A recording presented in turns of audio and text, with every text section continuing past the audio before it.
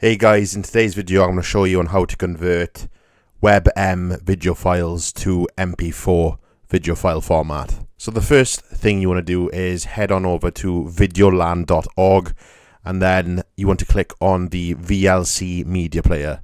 You want to go ahead and download the VLC media player.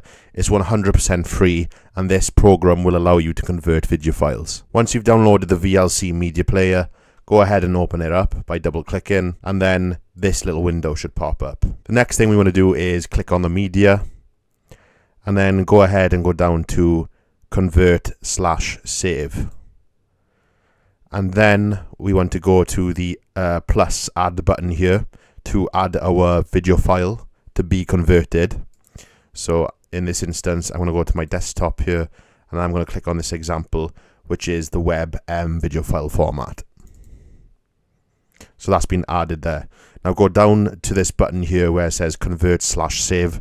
Click on the little drop down arrow here and then click on convert. Once you've clicked on the convert button, in this profile here, we want to change this to the desired video file format that you know want to convert this into. So in the example here, I'm going to use the MP4 file format as that's the most used video file format. And then once we've clicked MP4, we want to go to the destination file on where the video clip will be saved onto our PC. So I'm going to go ahead and click on uh, desktop here and I'm going to uh, name it example um, YouTube.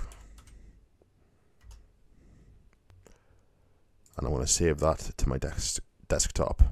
And this will be saved as MP4 and then go ahead and click start. And then the VLC media player will do its thing.